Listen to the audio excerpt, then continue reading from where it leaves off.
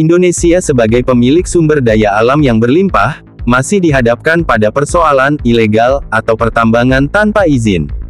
Dengan jumlah yang mencapai ribuan, tambang-tambang ilegal tersebut rupanya memiliki bekingan yang mengerikan dengan kode Langit 7. Sebelumnya, bekingan tambang ilegal ini sempat menghebohkan jagat maya, karena cuitan wali kota Solo yakni Gibran Raka Buming Raka yang mengatakan bahwa ada bekingan ngeri di tambang ilegal. Hal tersebut disambut langsung Gubernur Jawa Tengah, Ganjar Pranowo yang langsung menggerebek tambang ilegal tersebut. Namun, belum sampai digerebek, tambang ilegal yang salah satunya berlokasi di Kecamatan Kemalang, Klaten, Jawa Tengah langsung ditutup. Persoalan backing tambang ilegal itu memantik respon beberapa kalangan. Salah satunya adalah mantan tim mafia migas yang juga pengamat ekonomi energi di Universitas Gajah Mada, Fahmi Radi. Ia mengatakan, aktivitas tambang ilegal di Indonesia mempunyai backing atau dukungan yang sangat dahsyat dan kekuatan besar itu disebut sebagai Langit Tujuh.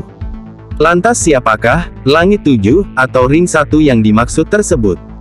Fahmi menjelaskan bahwa selama ia berpengalaman menjadi tim anti-mafia migas yang diketuai oleh Faisal Bari itu, bekingan tambang ilegal dengan kekuatan dahsyat ini berasal dari elit partai hingga elit organisasi masyarakat Ormas. Selain itu, Fahmi klaim, Langit 7, berdasarkan pernyataan mantan Menteri Badan Usaha Milik Negara BUMN, saat itu yakni Dahlan Iskan. Fahmi menyebutkan backing tambang ilegal terdapat oknum dari anggota pemerintahan yaitu DPR dan DPRD. Dari hasil kajian kami di tim anti-mafia migas, ini saya kira polanya sama. Jadi ring satu itu meliputi tadi, misal elit partai, elit ormas. Kemudian juga oknum-oknum anggota DPR atau DPRD yang membuat aturan undang-undang yang mungkin bahwa illegal mining itu sulit ditindak, terang Fahmi kepada CNBC Indonesia, dikutip Jumat tanggal 23 Desember tahun 2022. Selain itu, Fahmi menyebutkan kekuatan, langit tujuh, inilah yang membuat penambangan ilegal sulit untuk diberantas. Mengingat pembuat aturan perundang-undangan yaitu DPR dan DPRD turut menjadi oknum dari penambangan ilegal ini. Kekuatan langit tujuh ini kan sangat dahsyat, jadi itu yang menyebabkan ilegal mining tumbuh subur dengan cukup besar dan tidak tersentuh sama sekali, pungkasnya.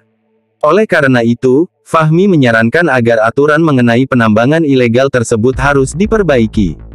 Selain itu harus dilakukan penegakan hukum yang adu sehingga menyebabkan efek jerah pada pelaku dan oknum dari penambangan ilegal.